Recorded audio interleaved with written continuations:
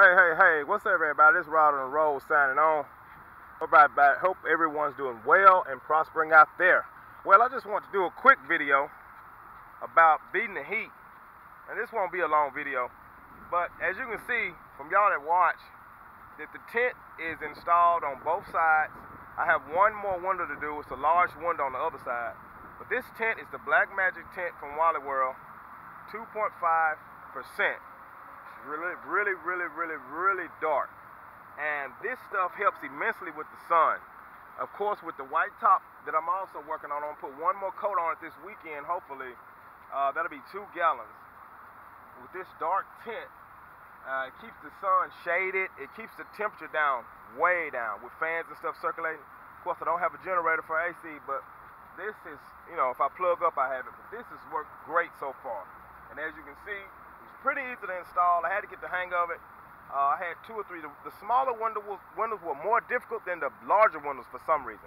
But I'll take you inside and hopefully I'm putting on, I'm, I'm actually getting something ready, a little rice. And I got, let me tell you something about, I try to stay away from microwave dinners because they're full of sodium. But every now and then, uh, you know, I partake in one. Let me tell you something. You don't have to have a microwave to you to cook them. You just uh, take them out of the package, as you can see right there. Just take them out of the package Take them out of the package, put them in the skillet, and it's the same thing. No big deal. That's a little, just a little something I do from time to time. Like I said, I try to stay away from all that sodium. But I hope you can see this inside. This is the tint. This is how it makes it look on the inside. You see how dark that is? I hadn't had a chance to clean the windows, but you can still see out fairly well, and I hope y'all can see out. And this stuff works great. Like I said, the temperature is dropped in here. I got it on all the windows except this main window right here, which I'm thinking about building something else here. So I don't know. I'm gonna go ahead and put that tint in, and uh, because of, of the heat, of course, and and definitely, definitely, definitely decreases the heat. So I definitely advise if you have windows, and look, check this out. I have these curtains, but I just slide these sunshades down, and you still can kind of see out because it's perforated. And uh, you know, like I said, most of the time it's so dark you can't see in at all. Even getting up close, you can't see in. And this tint, hopefully it holds up with the hot heat. I hope it don't turn purple because it's good and black right now. And we're just gonna roll from there. As you see, I also have these small windows to do at the bottom. I hope you can see that, that I hadn't done. Now the sun's out. The sun's out now. I don't know if you can see it, but it's no problem in here. It's good and shady. These windows at the bottom are going to be a, a little more tricky because they're moving windows. And with moving windows, of course, they move, so the tint's got to be done fairly correct for you amateurs out there, myself included. But I want to go ahead and get those done because you see this, my sunshade and stuff, I'm going to keep that there. And this area back here, of this lower area, you know, this is where I'm going to keep this at. And, and looking at it from the outside, like I said, that tint is so light, you can see this and it just takes away from the look of the truck, you know. Uh, if I go back outside now, that sun's not going to properly with the with the. I'll, I'll, show you outside, and hopefully you can see how it looks. But I'm gonna leave. I'm gonna be leaving this here because it's hard to store those things.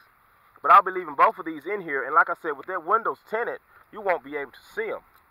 Let me see. Let me. Let's go back outside. I hope the sun adjusts properly. I'm gonna keep this camera turned away from the sun. See, you can see how you can see those. If that windows, if these windows were tinted, you wouldn't be able to see this at all completely black. And I could just bring it about up to here, and this will all be covered, and I still have ventilation right there. And that's some quick tips on beating the heat, getting that white uh, elastro, I can't pronounce the big word, roof to reflect the sunlight, and also tinting your windows very dark to reflect even more sunlight. And when you're running AC or something, that definitely help that AC cool it down quite a bit. It'll keep your interior temperature down as well as uh, fans and those max vents and uh, those roof shrouds open. You just keep that vent open and keep that ventilation going. And you can let that fan run when you're not in here. As you can see, I got 12.9 on my uh, batteries, on my solar. And of course, there is two batteries now. Yay! Of course, there's two batteries. I told you I'm going to get an extra battery. And I didn't do it the proper way. It's an old battery mixed with a new battery, but it's not that old. So I, I uh, you know, a year and three months Still don't supposed to mix them. You should get both batteries at the same time. I did not, uh, but I knew to do it, but due to finances and all that stuff. And I'm sure I'm not getting as much voltage as I'm getting, but so far so good. I'm only losing two or three volts a night with the fridge running, and it hadn't quit on me since. So that's the update from the road. This is Rod on the Road signing off. God bless America. Y'all stay safe out there and beat the heat. Hit that like and subscribe button. Peace.